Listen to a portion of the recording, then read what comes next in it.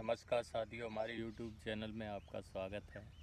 आज हम अपने मक्के के खेत में हैं और ये मक्का लगभग चार दिन पहले टूट चुकी है। आज 16 जुलाई है। जून में 20-22 तारीख से जब से चक्रवात आया, उसके बाद से लगातार एक दो दिन छोड़ के लगातार बारिश हो रही है, जिसके कारण सभी किसानों को बहुत परेशानी हुई, क्योंकि मक्का करने वाले और मूंगफली करने वाले किसान हैं जो। उनकी जो जुलाई के फ़र्स्ट वीक में फ़सल तैयार होती है तो उस फ़सल को अब निकाल पाने में बड़ा मुश्किल हो रही है, क्योंकि कोई भी मशीन या ट्रैक्टर खेत तक नहीं आ पा रहा है, क्योंकि खेत में बहुत नमी है, जिसके कारण से ट्रैक्टर, जो भी ट्रैक्टर लेके आता है, वो ट्रैक्टर ज़्यादातर फंस जाते हैं। तो ये मक्का रखी हुई है। इसका भी कोई प्रबंध नहीं हुआ है तो अभी ऐसे ट्रैक्टर द्वारा इसे रोड पर ले जाया जाएगा, उसके बाद ही इसकी कुटाई शुरू होगी।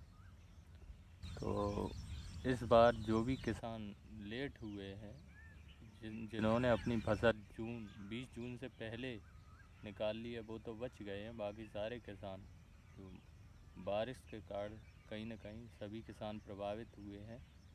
और आने वाले समय में लगभग दो चार दिन तक मौसम ऐसा ही रहने वाला है, जिसके कारण से मक्का और अन्य फ़सलें काफ़ी प्रभावित होंगी। तो किसानों से